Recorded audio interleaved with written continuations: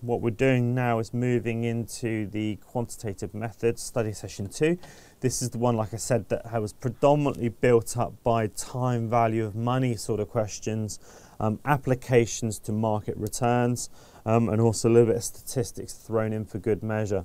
So again, this is where you really, really need to make sure that you understand the use of your calculator in the most efficient manner, making sure you get used to the multiple functions that it kind of carries out for you I think the biggest you know, issue for people just starting their studies is just getting used to it, and that will come with time. The more you practice questions, get used to the calculator, you will actually find that it actually becomes you know, a really useful tool for the exam. So what we've got here is Jane receives a five-year, $100 annuity, interest rates are 5%. Which of the following is closest to the PV, that's the present value of the annuity? And it says there, firstly, assuming that the payments are received at the start, just make a note on my answers, and then secondly, at the end of each year. So we've got two different sort of assumptions as to how we receive these payments. Now, remember, how does this work? Well, an annuity is an instrument that pays you a fixed cash flow for a given or what we call a finite period of time. So in this case, that's going to be over a five-year time period. So one, two, three, four, five. You know, sometimes drawing timelines can often help you out. Makes you get a view as to where the cash flows are occurring. And obviously this would be year one. We would have year two, year three, four, and five. It goes over a five-year time period. Now, let's make an assumption first of all that the payments are at the end of the period you're going to receive $100 at the end of year one, $100 at the end of year two, year three, year four, and year five. So under this assumption, we've got end of the period. That's where in each given year, the cash flow occurs at the end of the period. And we're asked to work out the present value of those cash flows. So all we need to do, remember this is referred to as an ordinary annuity, all we need to do is use our calculator, set it up. Remember that you have on your calculator on the third row, you have all of your time value of money buttons and we can insert values to then solve for the unknown. Now remember that before we use it, what we should do is to make sure that we clear the calculator, make sure that those buttons are set to zero if you like. So remember pressing the second button, you have the second button here, and we press the FV, that's the future value button, third row on the right hand side, that would clear the time value of money. And what that would do is make sure anything stored on those third row would actually be set to zero.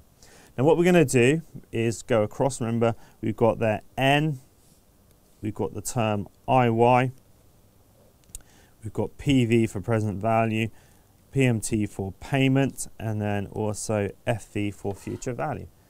Now all it's doing is using that kind of discounting and compounding assumption. So remember, any present value is equal to a future value divided by 1 plus what we call the discount rate to the power of n, which is the number of compounding periods.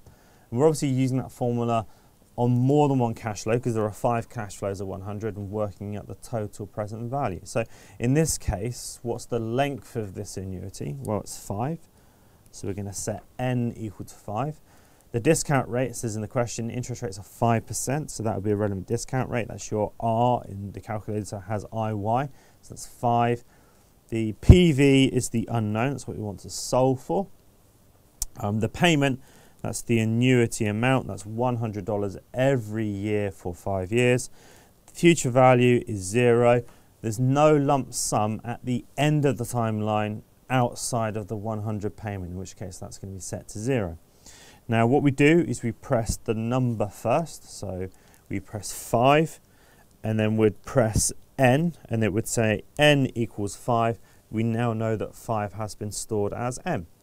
So remember the, the number first, then assign the button to it. So 5 and then N, 5 IY, 100 is the payment, 0 future value, and then ask it to CPT, compute, top left hand corner of the calculator, PV, computing PV, you'll find that when we do this under the assumption of being at the end of the period, we would have answer B, which is 433. So just checking that on my calculator. 5 is my N, 5 IY, 100 is the payment, 0 future value, compute PV, and we've got 432.95 um, and that's obviously 433. So that has allowed us straight away, given that we've got at the end of the period assumption there, to work out the answer as B straight away. But remember what we need to do is consolidate this and say, well, what if actually these payments occurred at the start of the period? So, you know, just looking at my timeline here, um, this would still be a five-year annuity, but the difference is now is that when we have each year, remember this is a five-year time period, the cash flow of 100 occurs at the start of the period rather than at the end of the period. So in, in this case, we've got our five cash flows, but the difference is now is that those cash flows occur at the start of each period. So we can see here the cash flows over a, a five year time period. Now what we can do here is the calculator can actually be changed. Um, this is known as an annuity due in the curriculum and that makes an assumption that the payments are made at the beginning of each period. So if you look on your calculator and you look at the payment button just above that you've got BGN to get access to that, if we press second and BGN, so second and then the BGN button, you'll see on your screen it will say end mode. This means that currently your calculator is assuming that the payments are at the end of each period, but obviously that we want to set it at the start. So if you press second and then the enter button, so second and then enter, what you'll do now is make an assumption that the payments occur at the beginning of each period, so BGN. So my calculator now says BGN. And you can see that in the top left-hand corner, uh, top right-hand corner of your screen, it will say BGN for the fact that it is in begin mode. Now the numbers would already still be stored in the third row, so you wouldn't need to um, you know, insert those again. If I press compute and then present value, I can see here that I've got 454.5. That's making an assumption that the payments are at the start of the period in other words, think of it as begin mode. And I have 454.59 and answer 455. Now that's where we've changed it into begin mode. I guess what you could have done is you could have kept it in end mode, if you like. Um, if it's in end mode, let's just think about this one. Just insert a slide for this. Remember that this was a five-year annuity. So if I draw out my timeline, um, we've got a 100 payment occurring at the start of each year for five years. So there are five, five payments of 100. Um, if you were stood at time zero, you could look at this and say, well, actually, I could have in year one a payment of 100 at the end of the year, in year two, a payment of 100, and going forward, can you see that you have a payment of 100 at the end of the next four years? Work out the present value. You haven't already thought about it, that's the present value of what is an ordinary four-year annuity.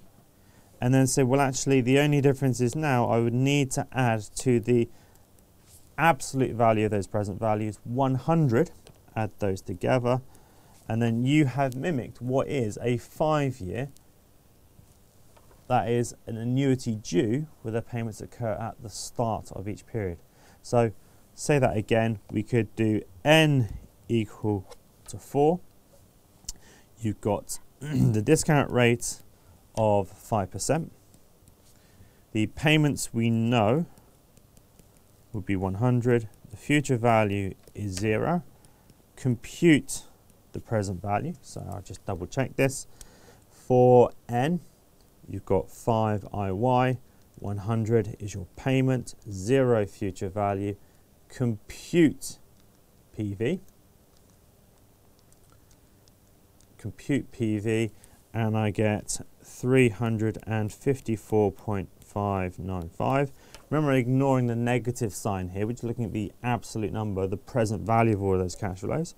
And then finally what I would need to do is to add the 100 cash flow at time zero because remember the 354 would be the present value of all of those 100 cash flows and that would give me a total obviously 454.595 and again that gives you your answer which is B in that case.